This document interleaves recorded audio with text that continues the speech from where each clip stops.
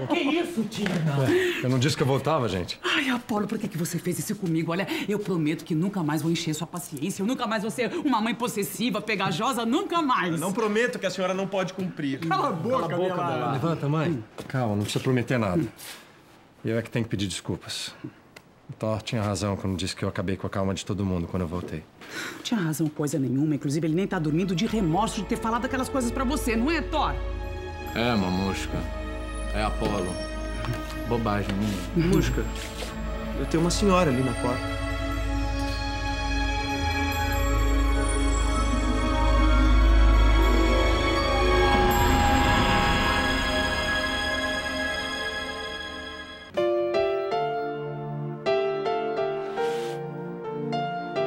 Dona Germana, a que devo a honra da sua visita.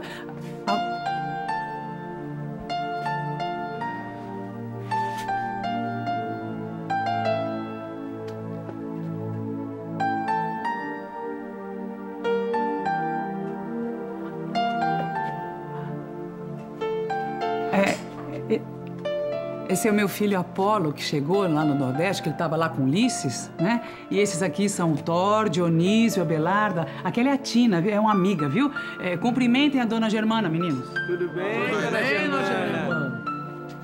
Prazer. Ver, Apolo. Prazer. Meu Deus. É impressionante como você se parece. A senhora veio pegar as receitas, né? Então, as receitas vão pegar lá no, no trailer, todo mundo no trailer. O que que estão parados aqui? Vamos? Já, já, rápido, vamos tira lá em. Trailer. Vamos lá, vamos lá, vamos trabalhar. Tra- todo mundo trabalhando, vamos, todo mundo trabalhando rápido, todo mundo no trailer. Vai, trabalha direitinho.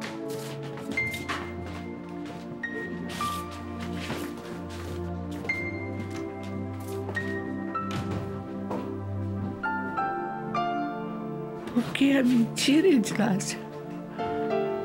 Mentira, Germana. Você me disse que Ulisses e o Apolo estavam no Pará? Que iam demorar muito para voltar? O Apolo está aqui mesmo, na sua casa. Por que que você fez isso, Edilácia? Parece que você gosta de complicar a vida.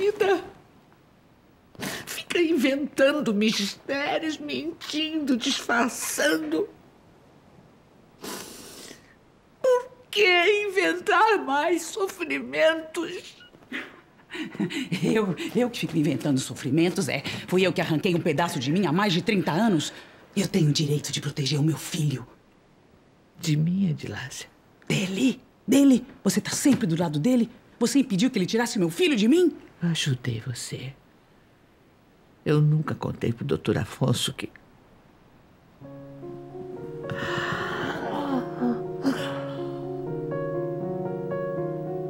Impressionante. Parecia que eu estava vendo o Paco na minha frente. Realmente, eles são, são muito parecidos, mas você não estava vendo o Paco, você estava vendo o Apolo. O Paco, a gente nunca mais vai ver.